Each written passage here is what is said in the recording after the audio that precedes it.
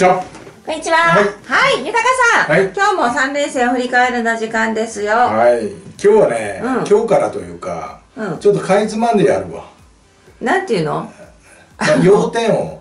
そうそう。うん。まあね、試合まあちょっの流と言っていこうかなれっていうか、そこはね、ちょっとあの、他に見てもらったら分かることもあるから、うん。まあ、結果も出てることだしね。そうそう。で何がポイントだったかとか。その試合のそのね、試合のね。で、言いたかったこと、あ言いたかったことっていうか、豊さんが気づ気になったこととかそうそうそう。ポイントだなと思うところだけをはい。ピックアップして、わかりま各試合はね。そしてそのはい。わか。3連りました。ね俺がやってんだから。はい。なんかおかしいけそうどだね。はい。そう。そんなことで豊さんがいろいろ試行錯誤ね。どうすればよく伝わるかって考えて日々やっているんでね。そうそうそう。ちょっとまた。まああんまり長くなってもな。あれだしそうそう。ちょっとかいつまんでポイントをポンと別にね豊さんがハイライト言わなくてもいいからね,、まあそうだね。そうそうそう。ということでね、い、ろいろやっていきたいと思います。はい、はい。看板屋ちいちゃんよろしくということでね。はい。よろしくお願いします。はいこうなりました。はい。えっ、とね d n a と広島の試合と、うん。ヤクルトと中日の試合は2試合だったんですね。そうだね、はい。まあこっちはねあのー、もともと2試合ということ元々二試合で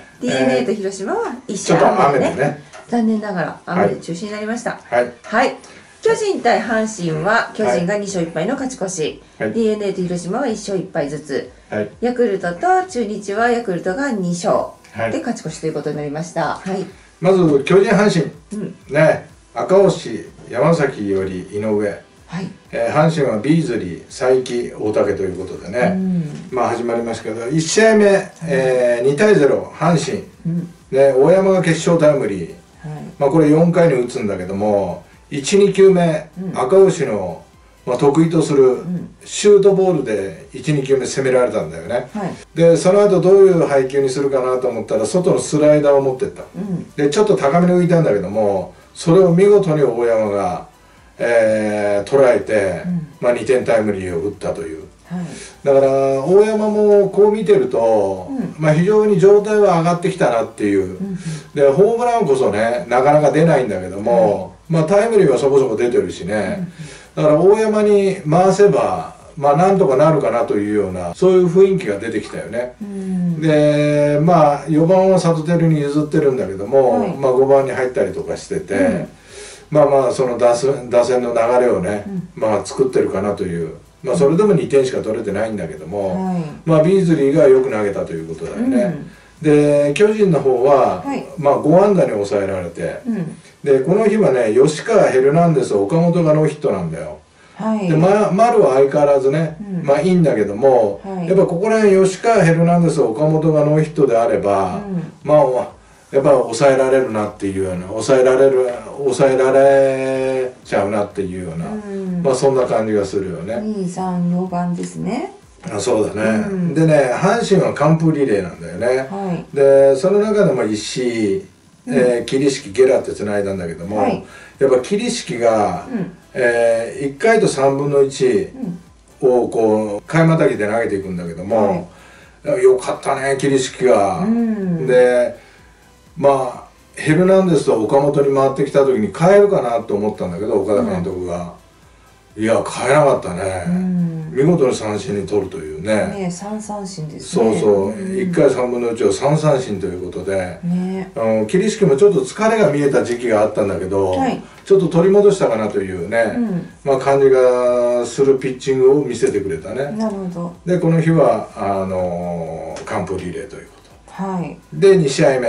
うん。で2対1、えー巨人。はい。これはね山崎伊織と佐伯っていうのは、兵庫県出身でお互いがおで同級生対決なんだよね。おで高校の時もやっぱその存在を知っててお互いにね。うん、意識し合ってたというね、うん。で佐伯はそのまま直結でプロに行ったけども、はい。まあ、山崎よりは大学経由で入ってきたという、うん。それも伝統の巨人阪神戦というねねえ。ところの舞台でまた投げ合うというね。ここであね会いましたかっていう感まあじですかそうだね。ねすごいですね。はい、で山崎よりね、はい7回128球、うん。8安打4三振2四球1失点。はい。で佐伯8回133球、ん。9安打9三振4四球の2失点ということで。うん。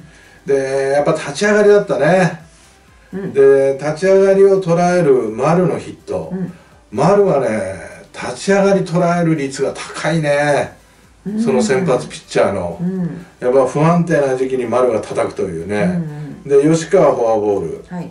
でワンアウト後岡本大城が連続タイムリーという。うん。で岡本のもうちょっと高めの浮いた球をね三塁線あの大城のね打球は抜かれたんだけども、はいまあやっぱ立ち上がりながらちょっとボールがねちょっと不安定なところで、うん。やっぱり見事にね、えー捉えたなという、うん。それもやっぱ丸がねやっぱり一番にいて好調だということが、まあ、非常にあの、うん、巨人にとっては心強いというね、で2回にはね阪神小畑のタイムリーが出るんだけども、はい。この試合ね終始うん。走塁とか盗塁ができないという。うん。えーまあランナー一塁に行ってねライト線に飛んでるのに一三塁が作れないとか、うん。ね阪神はうね、ん。で、まあ、その後小畑のタイムリーが出るんだけどもでも一三塁を作ってたらもうもっと違った形とか、まあ、そういうのが出るかなという。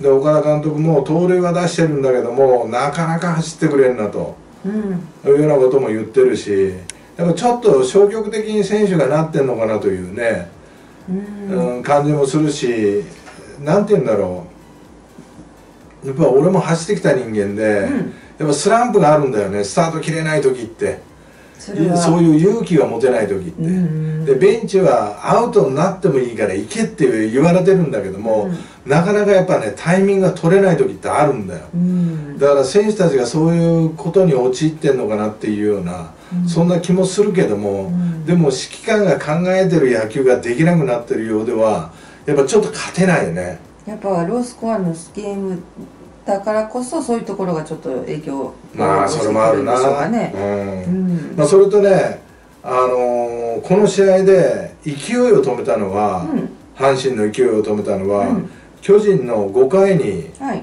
えーランナーセカンドに置いて、うん。ピックオフがあったんだよね、はい。この牽制は見事だったね。多分ね、はい。岸田が出してると思うんだよサインをね。1球目かん明らかにボールでちょっと様子を見たんだようんうね、ん。で多分その後に多分サインを出してんだよ。はい。でも誰もが見落としてないんだよそのサインを、うーん。うん、でキャッチャーがポンとミットを落としたら、うん。もう山崎よりがもう振り向きざまにうん。セカンドに投げるというピはい。ックオフなんだけども、はい。まあタイミングも何もかも完璧だったね、うん。あれがちょっとでもずれたらあのセーフになってたと思うけど、うんやっぱその勢いをこう阪神が状態が悪くなかっただけにね、うん。あのあそこでピシャッととあのピックオフで止めたということが、うんやっぱこの試合のポイントだったかなっていうふうに思うね。うん。ただ巨人の方は勝ったけどもバントができないシーンがあったりだとか、うん。ちょっとミスもあるんだよね、うん。まあ、2対1では勝ったけども、はいやっぱこういうところが安倍監督が気に入らないところなんだろうね、なるほうん、まあそれは指揮官というのは勝てばいいっていうもんじゃないし、どうん。うん、やっぱりやってるやってほしいことをきっちりやらないとね、うんまあ、いけないということ、うん。はい。ということで、はまあ、3試合目、はい。えー4対3巨人。うん。でこの試合はね今日はね阪神は12番うん。外してきた。近本中野。をはいええと思ってうん。岡田政権になって初めてのことだよね、うん。これは？これはねどいや野口と上田。うん。まあ状態が悪いっていうのとやっぱ盗塁ができないといううん。ようなことなのかなって思いながら、うんうんうん。でセンターに上田を入れて、はい。まあ、2番。うん2番センター上田ね、はい。で3番にセカンド渡辺を入れてくるんだよ。はい。中野の代わりに、うんで巨人の方はなどうかっていうと、うん。サードに坂本はい。を入れて、うん。まあ、大城ファーストそのままでね、岡本をレフトに持ってきたんだよね、はい。そうですね。ん。まあこの試合が果たしてどうなったかということなんだけどまあまあ巨人が勝ったんだけどもね、はい。まあ5回、えー、小畑あーが二塁にいてね、うん。ワンアウト一二塁、うん。まあ代打近本はい。ライトへのヒット、うん。丸が好返球ね、うん。それでまあホームタッチアウトはい。あまあしかし続く渡辺が、まあ、一三塁ツーアウト一三塁からタイムリーを放つんだけど、はい。やっぱここここで丸が差してなかったら、うん。結構渡辺の後も続いたと思うんだよね、だらだらと、なるほど。うん、だから丸の後編球っていうのは大きかったっていうことと、うんで対比して考えると5回の吉川の走塁、うん。まあ、ランナーセカンドに置いて、はい。まあ、セカンドで吉川がね、うんセカンドランナー、はい。でヘルナンデスのタイムリー、うん。これがねちょっと詰まり気味でショートとレフトの間に落ちるんだけども、はい。うんなんかどっちか取るかなっていうようなそういうちょっと小フライになってたんだよ、うんそれを判断よく吉川が帰ってきてるんだよね。なるほど。だからここら辺の差っていうのはすごく大きかったかなっていうのは思う。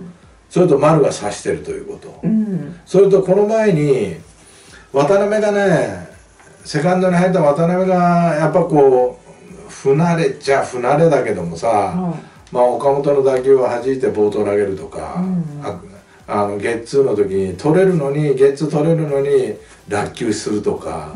まあ、ちょっと守備の面もねでせっかくチャンスをもらいながら、ちょっと生かしきれてない部分があるんだよね。うん。で結局12番を変えてきたんだけども、はい。その12番にヒットがないといううねん。うーんまあ途中で近本が代打に出てきたり、うん。まあ、中野が途中で出てきたりだとか、うん。まあ、結局はしたんだけども、うん。結局この作戦はどうだったのかなというね、うん。まあ、今後に生きてくればいいけどね。やっぱこう試行錯誤しているところ。うん。まあやっぱそうなんだろうな。だからまあこういうことを見ても、まあ、阪神がうまくいってないのと巨人はなぜうまくいってるか。ね。まあ勝ち方とすれば、まあ、安倍監督は不満だと思うけども、うん。でも1位をなぜそこにいるかっていうとさやっぱ結構不動なんだよね。うん。丸が1番吉川2番ヘルナンデス岡本大城。ここまでは全く変わらないんだよ。はい。だ坂本が入る時だけ坂本が入ったりだとか、うん。まあ坂本が入らない時は岸田が入ったりだとか、うん。まあそういうことになってくるんだけども、はい。去年の阪神はほとんど不動だったよね、もうねうもん、一番ず近本中野、とが決まってるような感じでしたよね。うん、だからやっぱ早く不動のなんていうのかなオーダーが組めるとねうん。まあいいなっていうふうに思うね、はい。うん、でこの試合でやっぱ巨人の中継ぎはい。井上が4回3分の1で降りて、うん。そこから船場様うん。泉ケラーバルドナード大勢というふうにうん。つないでいったんだけども、はいまあほぼみんな完璧に抑えていったというね、うん。はい。まあそういう3連戦でした。はい。はい。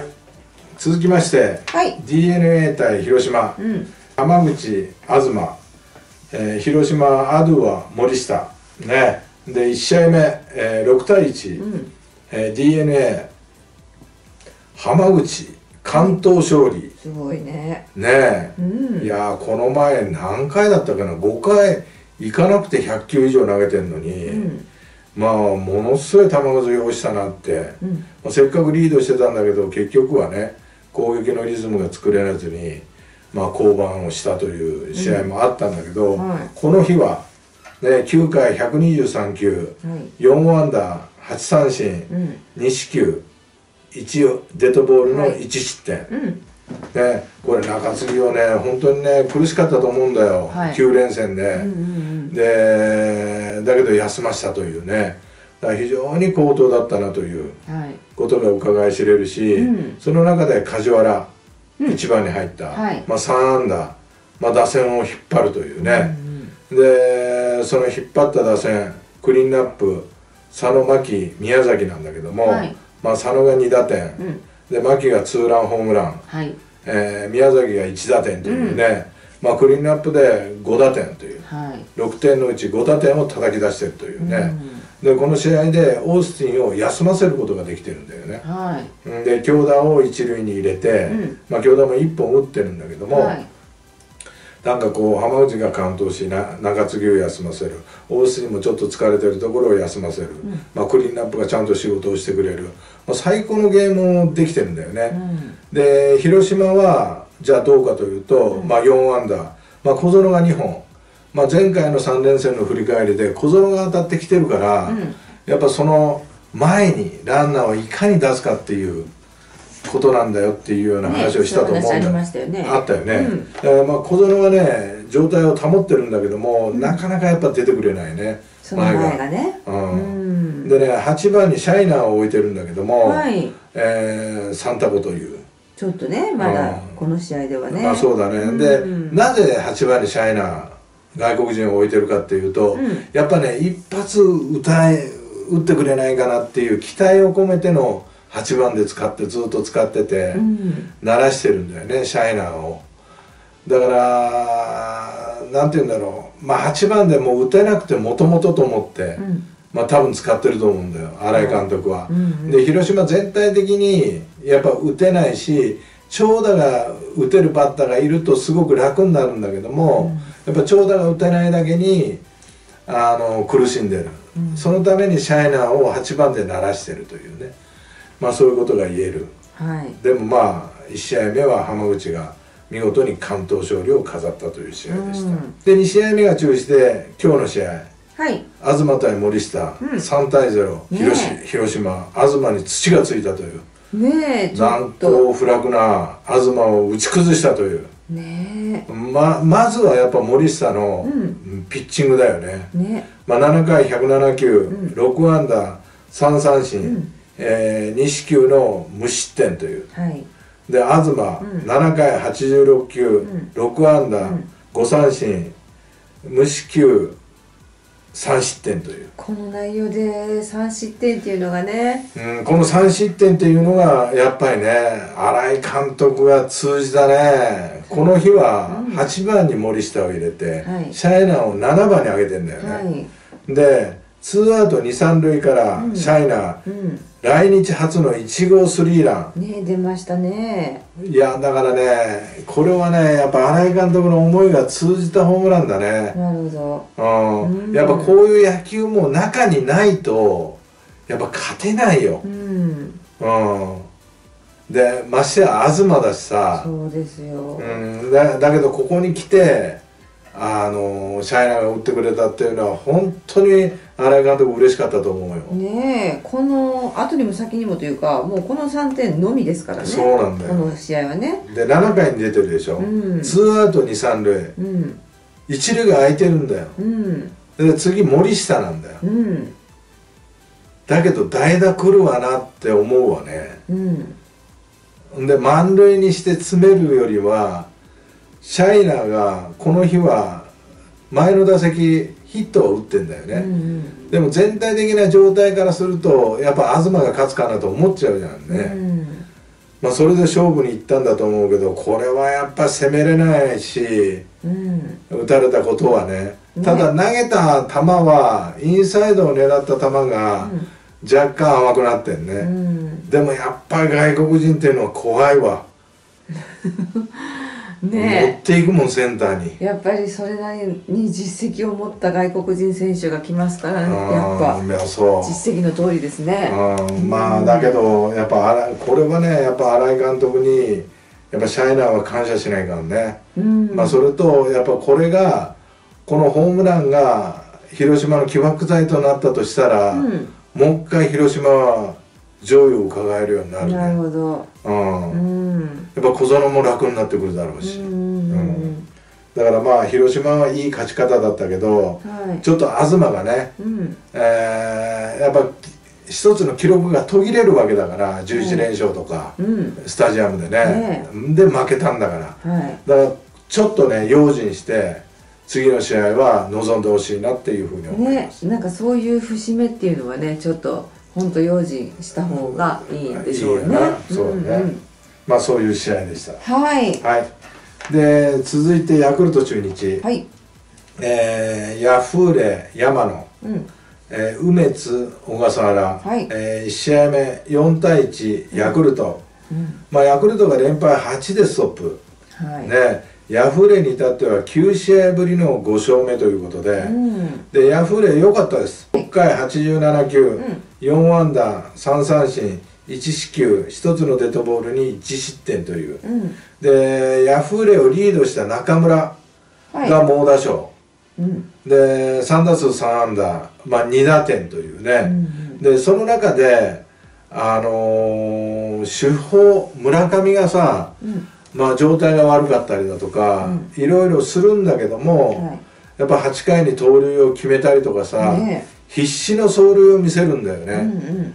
あのだから非常にやっぱりこういうのっていうのは選手を鼓舞するし、うん。まあいい姿で村上は走塁をしてたなっていうね、まあそんな感じがします。はい。ね。で中日の方はうん。上位打線が5番までノーヒット。うん。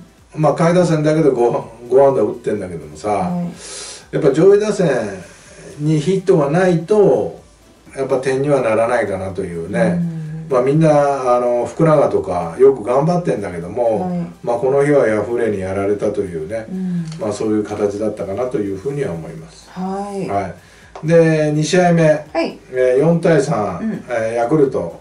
はい。で中日はね、えー初回まああのーカリステが内野安打出て福永ツーランホームラン、うん。初球をねねえ。ライトに。おーすごいなと思って、はい。そしたらもう次の細川がまた初球ねレフトスタンドに、うん。まあ、連続ホームランではい。いきなりの3点のリードを取るんだよね、うん。うん。ただ6回に中村の内野ゴロ丸山のタイムリーでまあ同点にするんだよ。うんね3対3の。それまでねはい。1点取っといてね6そうそう。回2点で。で問題はこっからなんだよ。うん。でねヤクルトはね、うん7回に先頭打者フォアボール、うん。えー長岡が取るんだよ。はい。で増田が送ってランナーセカンド、うん。ワンアウトランナーセカンド、はい。宮本が一塁ゴロでツーアウト三塁になる、うん。でバッター村上。はい。まあこれが当然勝負に行くんだけども、うん。で勝負行ったらショートゴロ。はい。これをトンネルショートが。う、ん。まあ、エラーをして勝ち越すんだよね。ね。で、まあ、1点リードされたすぐ8回うん。表の攻撃、はい。代打大島に対してのフォアボール。うん。で代打高橋周あの周平が出てくる。はい。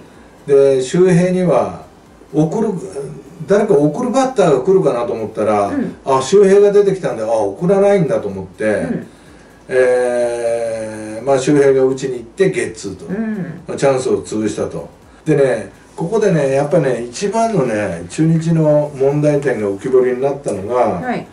これね一番にその日は岡林が入ってんだよね、うんうん。でこれ岡林が全部悪いっていうわけでは全全然ないんだけど、うん。やっぱ中日ベンチとしたらやっぱ遅らしても岡林まあ代打出しゃいいじゃないかって思うかもわからないけども、うんやっぱり出せないんだよねなかなか、うん。まあ大島高橋周平って出すとさ。であのやっぱねこの中日で一番に入ってるうん。この打席各打席の中で、うん。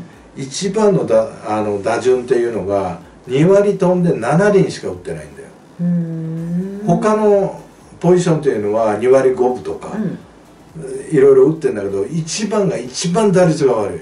こ問題ですねこれは。そやっぱり一番一番がね。一番出てくれなきゃいけないうん。ところのポジションが一番打者だけを限定で見見てみると2割飛んで7厘しかないんだよ。誰がっていうことじゃなくてね。誰がっていうわけじゃなくて。だから岡林だけじゃなくてね。一番になった人のトータルの打率ってことですそうよねそう。そう、ん。いやそれで俺はその日岡林が入ってたんでやっぱ打たしに行ったんじゃないかと。うん。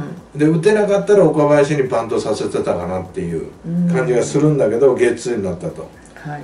で岡林の今の打率が182、うん。1割8分2厘、うん。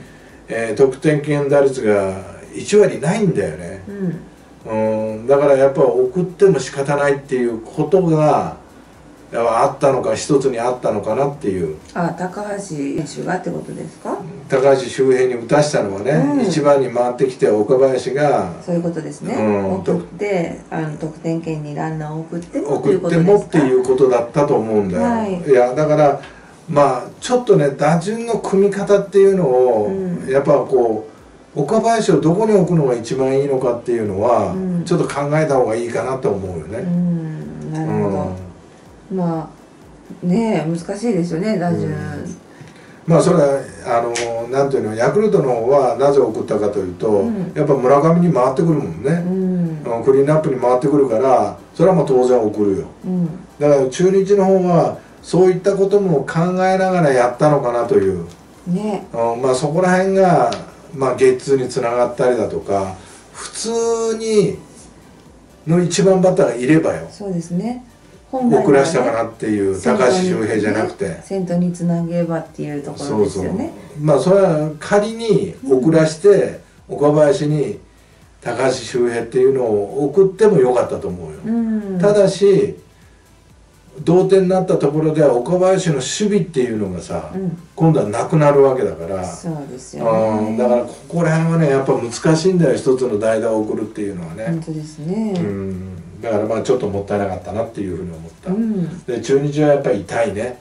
なるほど。うん、やっぱ、あの状態が良くなってきてただけにさ、うん。まあこのヤクルトの対戦大体1勝1敗とかさ逆の数字じゃないとちょっと上は狙えなくなるなっていうふうに思うね。ですね。はい。はい。まあそういうセ・リーグでした。はい。はい。続きましてパ・リーグ、ね。はいこうなりました？はい、ここは全試合ありまして、はい。えー各カード3試合ずつありました。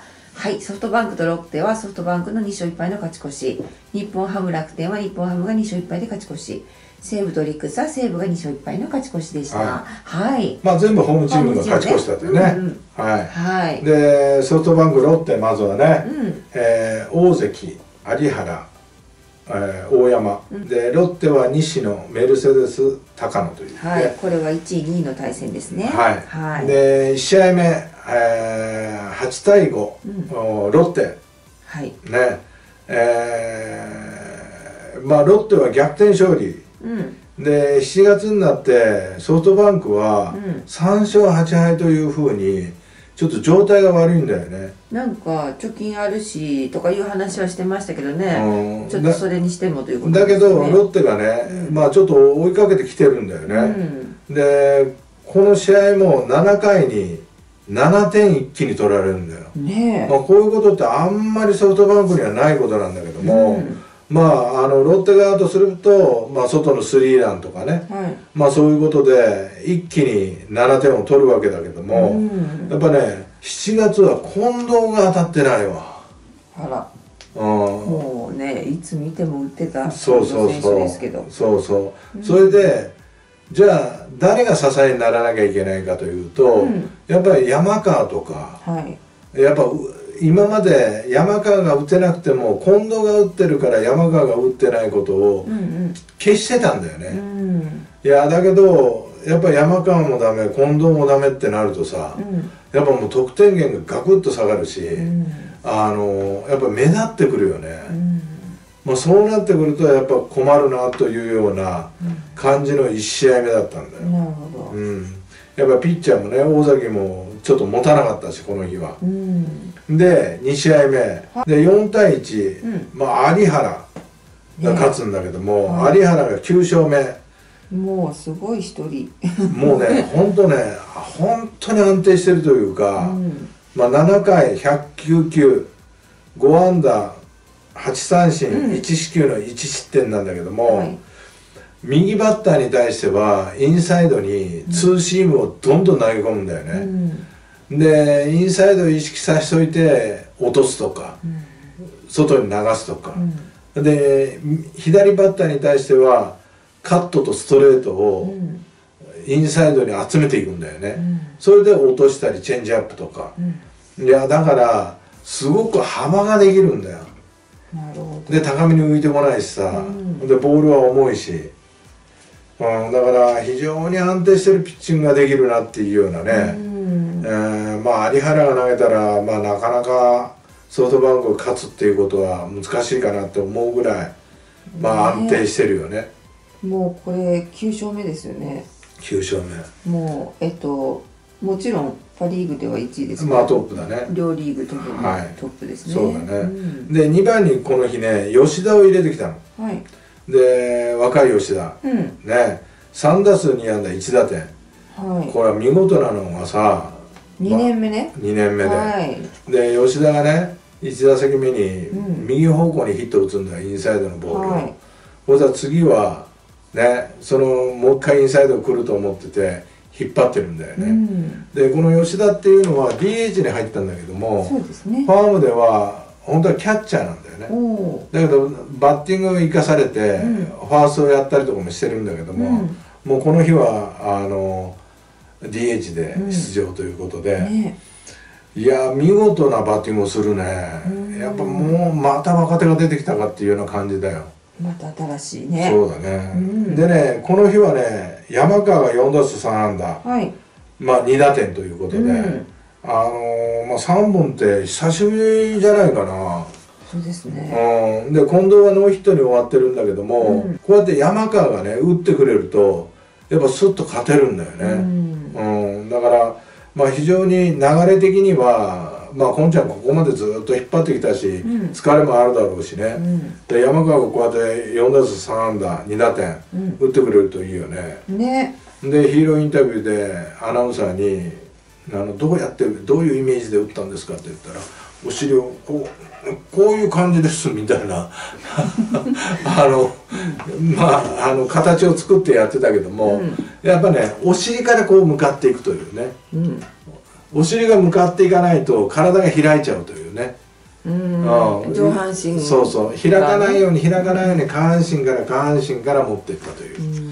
まあそういうことを言ってたけども、うん。まあまああのー表現的にはわからない人はいるいるかもわからないけども野球をやかじった人だったらそのお尻からお尻からっていうのはちょっとわかるような気がすると思う、うん。そこが今回の三安打のポイントだったってことですか？何が？3安打のね、うん。そのポイントポイント。なるほど。うん。はい。はい。で3試合目6対4、うん。えーソフトバンク、はいえーこれはね1点取られた初回、まあロッテの攻撃だったんだけども、うん。えー取った後に岡の打球、うん。えー宇宙間に飛ぶんだ、はい。これをねシュートが取ったよ。ねえ。大ファインプレーだよ。足がは速い、い。やこれがね抜けたらね2点とか3点とか、いや結構いかれたかなっていうふうに思ったんだよね、うん。でもそれをピシャッと、まあ、1点で止めた、まあ、しかしポランコがホームラン、うん。外がまあ3回にはタイムリーとかで、うん。まあ、ロッテがあの追加点を上げていくんだよね。123とね。そうそうそうそう、うんいやいやあんなシュートのねファインプレーがあったのにってうん。思ったんだけど、はい。ただ5回、うん。えーシュートがセカンドランナーで、はい。えー三振したんだよね、うん。えーそしたら牧原が三振したのか5回？なはい佐藤俊也が取ってうん。あの牧原が逃げたんでファーストに投げようとしたんだよ。うん。そしたらそれを見てセカンドランナーの周東がうん。サードに行くんだよね。これ三振したのは今宮選手ですか？あ今宮だ、うんうん。そうそうそうそう。今宮だ。ごめんごめん。はい。今宮が三振して、はい。ファーストに逃げたら、はい。一塁に佐藤俊也が投げて投げて。投げ投げる時にあのーサードに進むんだよね、うん。うん、その隙を見て。はい。でワンアウトサードを作るんだよ。はい。そして次の打者のセカンドゴロかなんかでうん。ホームつくんだよ。うん。で同点にするんだよ。吉田選手のね。そうそうそう、はい。いやーだからねこの初回のシュートのファインプレー。うん。5回の同点に追いついたうん。シュートの足。うん。素晴らしいね。もうなんかその足の速さをうまく活かせてるというねいや活かせてる。に。いやもう守備でもそうだし、うん。いやこういうね点の取り方取られ方っていうのはやっぱロッテってすごく嫌だったと思うんだようね、ん。で隙を作ったっていう自分たちの戒めにもなるしなんかすごく嫌だったと思うんだよ、うん。でその中で甲斐が4打数3安打5打点という。うん。ねえまあホームランもツーランを打ってるんだけどね5打点の中で、うん。まあ大活躍と、すごい。うん、いやだからなんていうのかな。もう和洋折衷じゃないけどさ、まあ、足も使える ホームランも効果的だとかう、ん。なんかもう三拍子揃ってるっていうような、うん。まあ、そんな感じの野球だったねこの3試合目は。ねえもう好き放題やっぱシュートの足がねやっぱ生きたなっていうような感じがしたねこの3試合目は、うん。3試合目はね。すごい。ははい。い、だからまあ昨日は山川がね3安打打つ、うん。はい今日はシュートの足で。うん。ね。甲斐のね守走備でも。甲斐のね足でも。あの甲斐のバッティングでも、うん。うん、やっぱすごいなっていうふうに思わせるよね。ねえ。はい、うんと。いう3連戦でした。はーい。はい、えー続いて日本ハム対楽天。うん。ね日本ハム福島、えー山崎幸也、うん。金村。で楽天は滝中内小蛇はい。試合目、えー、16対3、これはねうん、楽天。もものすごい大差になりましたけど。これもね5割同士でね、うん。戦ったんだよ、はい。でどっちが頭出るかっていうことで、うん。この3連戦の初戦だったんだけども、うんその初戦に日本ハムにミスがね多く出た、うん。まあ、2回上川端がまあエラーとか、はい。まあ、5回には水谷野村が、まあ、記録に現れないんだけども、まあ、完全なミスだよね。う、ん。で楽天の方は辰巳が5安打。うん。でフランコ2本のホームラン。5号6号、えー満塁とソロホームラン。5打点。5打点。これねエスコン大好きなんだよねフランコ。いややっぱね球場の相性ってあるんだよまたこうちょっとアメリカっぽいっていうのもありますか？まあそうだね。設計が。まあそうだね、うん。あのテキサス。うん。あーオールスターゲームやったけど、あそこ球場ののと一緒なん同だよね。じところがやってるやってるだからもう本当に似てるというね、うん。だからまあメジャーリーグの球場に本当に似てるというふうに、うん。まあ思うんだけどもまあそれにしても、うん。フランコにちょっとやられすぎかなっていうね、ねまあ楽天の方は辰巳が当たってきてるし、えうん。ねええー小郷もいいし、うん。だから非常にいい形でね、あのー来てるなという。ただし日本ハムの方は万波がねあ状態上げてきてるしホームランがポンポン出だした、うん。えーこの日も12号ソロを打ってるんだけども、はい。まあ何の役にも立たなかったけどもちょっとね。うん、まあだけど、うん。あのーなんて言うんだろう。状態はね上げてきてるぞっていうような感じがするよね。ねで福島がこの試合7失点。えうん。まあ、4イニングを投げて、はで上原、まあ、2回を投げて7失点というね。ねまあまあちょっと2人ともファームに行っちゃったのかな。大変ですねこれは。まあまあそうだね、まあ16対3まあこういう雑な試合になっちゃったね。うん。で2試合目、はい。えー5対4、うん。えーサヨナラ勝ちです日本ハムもう昨日昨日っていうか前の人はねちょっと違う試合をしないとということで、でねタミヤがサヨナラヒットそねう。ね。え。でまあ嬉しかったと思うわ。うん。あのその前はうねん。4, 4三振かな。うん。で間開けて使われたら2三振かな。全くダメだったんだよ、うん。ここのここ最近、はい。でね最近ではねそうやってボンダが続くと、うん。やっぱりリード面っていうのを言われたことなかったんだけど、いやあのタミヤのリードは良くないとか、うん。まあいろいろ言われ始めてたんだよね、うん。でその中でやっぱ苦しんでる中でタミヤがサヨナラホームランを打ったというね。ねだからやっぱ嬉しかっただろうなって思うし、えねえ。まあ、これでまたちょっとね状態が抜けるといいなっていうね、まあ感じがします。もうキャッチャーは本当大変なポジションなんですってね。まあねいろいろ言われるからね。ねえもうでも、そのキャッチャーでねいろいろやっている中でね、まあそうだね。こうやって結果出すっていうのはもう本当大変なことですよね、はい、で劣勢をね、うん。ものにしたのはあのーレイエス。はい。ね、えー貴重な一発。ねターディーから。えうんと。外に抜けるチェンジアップを。うん。やっぱ力あるね。左手一本でこう巻き込んでいって、えーレフトのポールにぶつけたけど いやーだけどあのーあーこれはレースがここで打たなかったら負けかなと思った瞬間にね、うん。まあ、レースが打ってくれたというね、ねうん、ただし、えー一時期瞬間勝ち越したんだよねその時に、えうん。そしたらすぐ、その後ね。うん、1点取られるというね。7回裏に点を取って8回の表に2点取られてあっさり取られるんだよ。はいもうあれ？と思って。もうすぐ追いつかれたそうだね。でもそっから粘れたね、うん。普通だったら勢いはあのーまあ、楽天の方に流れるかなと思ったけど、はい。よく食い止めて、うん。まあ、タミヤがサヨナラを打ったというね。ね。はい。ただ楽天。はい。ね。えー、阿部浅村が2安打ずつ。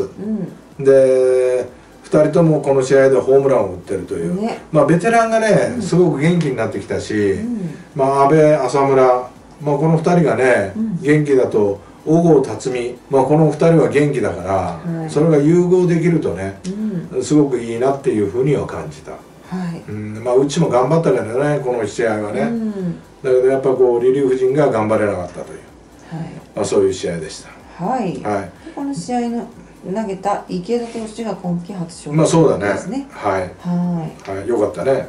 いね。はい。はい。で3試合目6対2日本ハム、まあこれで一つの貯金を作りました。はい。で楽天は逆に、えー一つのマイナスになっちゃったという。ね、うん。借金を抱えたという。う、ん。でこの試合、はい。えー初回日本ハムの攻撃、うん。水谷初球ホームラン。ね。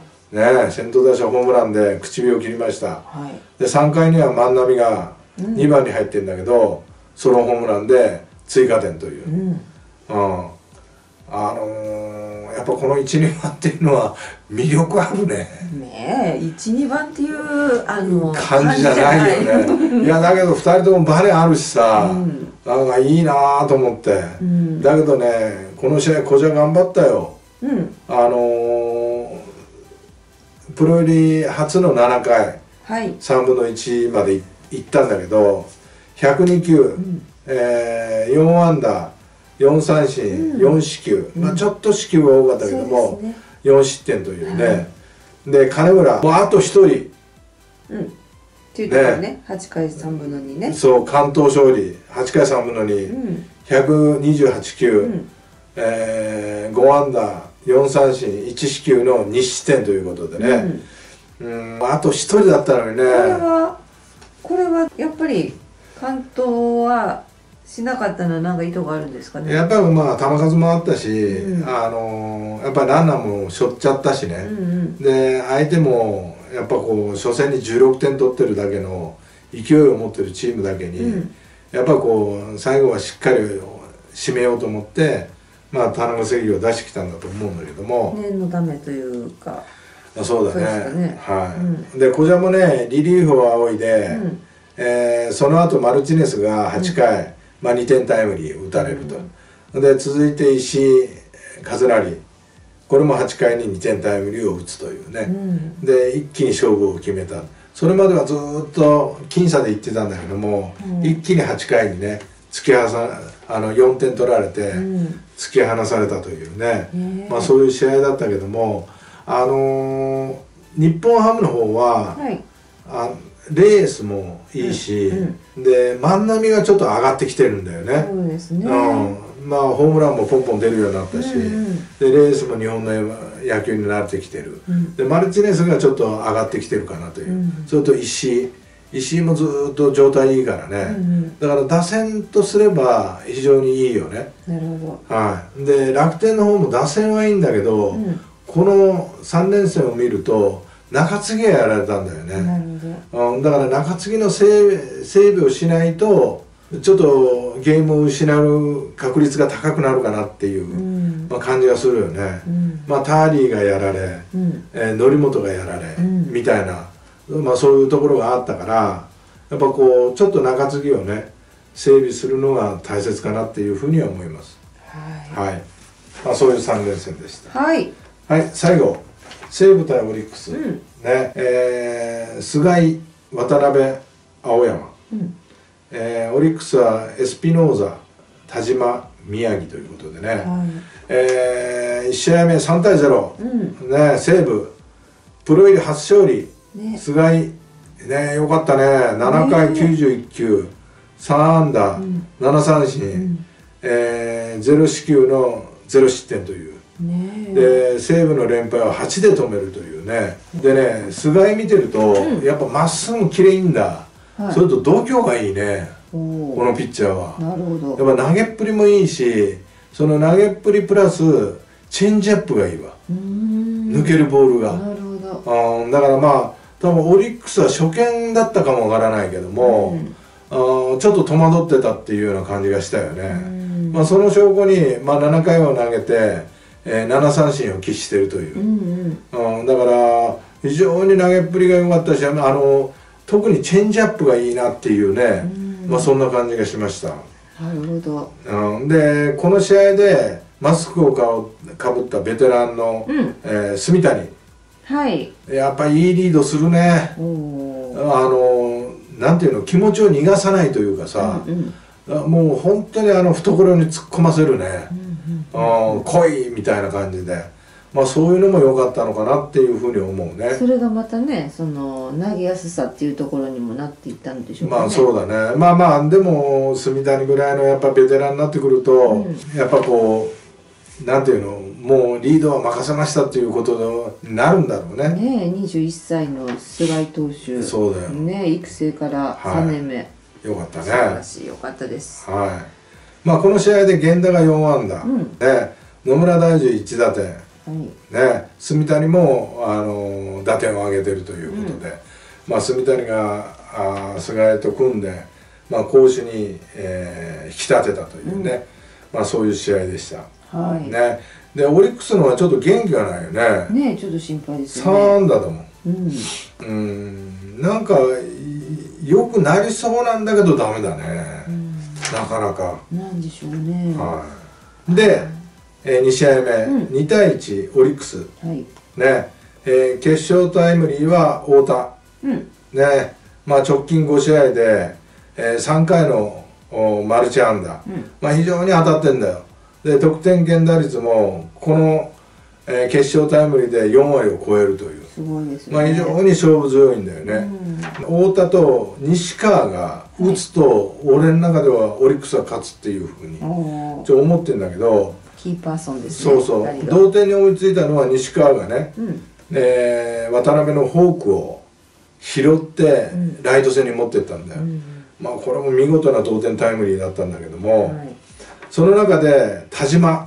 うん。ね最近すごくいいの、ねこの間もねちょっと気持ちが現れてるっていうはねい。まあいい6回を1失点、うん。102球うん。5安打5三振1つのフォアボールなんだけど、はい。こうノーエンドアップからワインドアップにしたんだよね、うん。変えたってことです変えたのフォホームを、うん。そしてねまあ斉藤明夫さんに聞いたらやっぱねこう上げると癖とか吸収ん。分かっちゃったりだとだとかうん。するリスクはあるんだけど、はいはホームは投げ急がないでゆっくりになる人がいるって。いうん。だからこういう間をねうまく使いながら田島は投げれるんじゃないかって言ってたけど、うん。うん。やっぱねこうやってノーワインドアップでこうセットで投げると、あのセットっていうか、うんこう上げないと、うん。やっぱね田島の場合はタイミングが速くなるんじゃないかって。うんだから上げることによってゆったりしたリズムで大きく投げれるんじゃないかっつってたよ、うん。うんだから非常にねここのとこは田島が安定してるというね。このタイミングでねそのフォームの変更ってなんかまあ珍しいけどね。ねなんかきっかけがあったんですよ。やっぱねでもねやっぱ何かを変えないとダメだっていうふうには感じてたみたいね、なるほど。ははいい。でね渡辺がね、うん。もったいないんだよ渡ね辺投手ね西武うの。うん。ん。7回120球。まあちょっと球数は多いけども、4安打、えー9三振、うん。2四球1つのデッドボールに1失点という。いっつも好投してるんだけどいっつも勝ってくれないんだよね。勝ってくれないっていうか。点を取ってくれないというかさ、うんうん。あーだからやっぱこういうピッチャーを勝たして大きく育てていかないと、うん。やっぱ西武の方もね苦しいよね。うん。はい。はい。で3試合目。6対0、うんね西武です。はい。えー、0対0で迎えた6回、うん。一気に西武が5点を取る。ね古賀のヒットから源田ツーベース。奥村がプロ入り初打点を挙げ、えうん。まあ、西川山村が犠牲フライ、うん。まあ、西川ヒットね、うん。で野村がスリーベース。岸がヒット、うん一気に宮城を畳み込んでいくっていう、ね。えできるんだ宮城をって。すすごいよね。やりゃできるじゃんみたいなさ。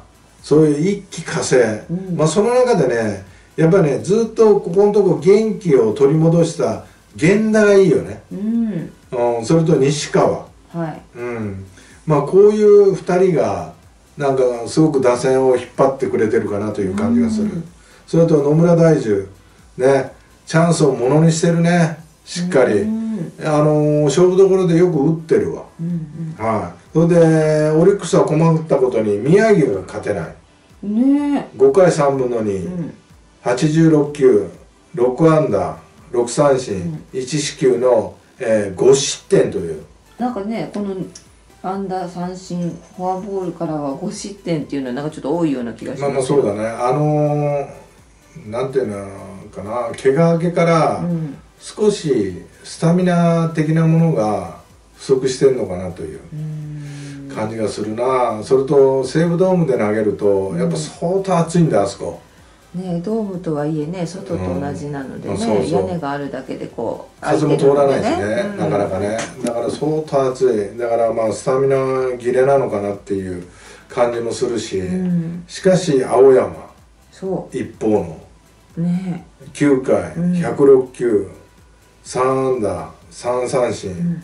1四球の無四球無失点という素晴らねしいですよね。ああいや完封劇ですよ。完封でこれ初勝利ですよね。初勝利ね、うん。だから非常にあのなんていうのかな。まあ菅井もそうだったけど、うん。まあ、な西武のピッチャーってやっぱ渡辺久信 GM、ん。今監督代行、うん。まあ、その人がなんかこう背負ってきたものを、うん。みんながこう継承してるというかさ、やっぱもう思い切っていくね、うん。まあ、渡辺もそうだし、うん。渡辺はこのまま怒られたけどね変化球多すぎるって。もっとまっすぐでいけって言われてたけどうん。でも青山も立ち上がりちょっとピンチを迎えたんだけどはい。やっぱこうそれを切り抜けてからはまあ結構いいあのピシャッといったもんね、うん。うん。だからやっぱうんいいピッチャーが育ってきてるなっていうような感じがしました。なるほど。はい。はい。まあ以上ねざっと3連戦の振り返りをやってみましたけども。はい。まだまだかいつまんで言えるかな。もっとね。あ ももっともっとポイントがねポイントをねもっとわかりやすくなるかな、まあまあそうだ試合のね。はい。うんまあそのように努力しますので。うんね少しずつね。はい、オールスターまでにあと一つのカード、ね、3連戦を振り返るという、まあ、そこでもちょっとね、えー簡潔にまとめてやってみたいと思いますが。うんね。ねアメリカでは一足先にオールスターが始まってますけれど。そうだね、まあこれからねオールスターを迎えるけども。まあそれまでにね、うん。まあそうだな。日本ハムはやっぱりね貯金をいくつできるか。ね。まあ楽天の方はね5割以上に戻せるか、うん。ねオリックスはせっかく5割いったのに何してるんだっていうような感じがするし。うんね。はい、ね。ということでね。まああのパ・リーグはソフトバンクロッテ日本ハム3位で楽天4位オリックス西武という形になって、はセ・リーグは巨人広島 d n a 阪神中日ヤクルトという、まあそうだうね、ん。まだいまだねゲーム差がはい、234位1234位はうん近いですけどね、うん、2.5ゲームかな、まあそうだね、うん。まあ阪神はやっぱりね不動のオーダーを組めるかどうかっていうのがうん。やっぱり一つのポイントだし、うん。まあジャイアンツは細かいこと。うん。で広島はあの長打がね外国人出たんでシャイナー選手シャイナーね、うん。これが続いていけるかどうかっていうのは大きなポイントだし、ねまあ d n a の方は、まあ、浜ちゃん勝ったしねその代わりに東負けた。そねう。んまああとね3つどうやって戦うか。まあ楽しみだしね。ね。次はね、えっ、と木曜日は試合がなくてはい。金土日とそうだよ。ありますが、はい。えっ、とヤクルト d n a はい。中日巨人はい。阪神広島。ねははい。西武ソフトバンク。い。ロッテ日本ハムオリックス楽天というようなカードになります、まあ面白いカードが組まれてるからね。ねえ、はい。まあ梅雨も早く上げてくれんかなと思うけども。なんかねねもう今日は晴れるのかなと思ったら急にうんめちゃめちゃ降ってるみたいにね。そうだね。困ります、まあ阪神の小畑がね憎まれなあくしたですそうです。またまね、あちょっとねオールスター前に怪我しないように。ほんとね。まあ頑張ってほしいと思います。はい。はい